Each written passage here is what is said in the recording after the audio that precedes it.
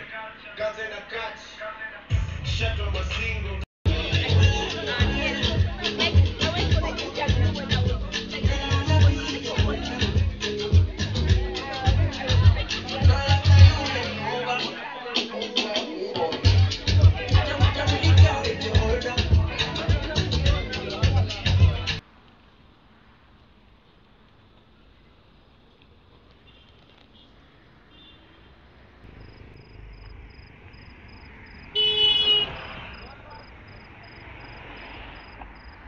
This is a piece I've had at the corner of my unfinished works, and I finally took it out to work on it because uh, I decided to work on the same idea that I had here and started over here, which looks really good. This area looks really nice, but then I want these ones gone because I don't like them. I don't like these flowers, and I'm not sure about from the neck down. I'm thinking of doing something else like I need these flowers coming down from here all the way down all the way here but I'm not sure how to do that. So I've spent the last two days contemplating on what to do and what I've done is this. So most of that time has been spent thinking of what to do and being scared of ruining the painting but I've done a light wash of the purple here. It was basically yellow under and you can still see the yellow under it um, I'm not sure still. I'm not sure still what to do, but so far so good. So I'm gonna keep contemplating on what to do and being scared to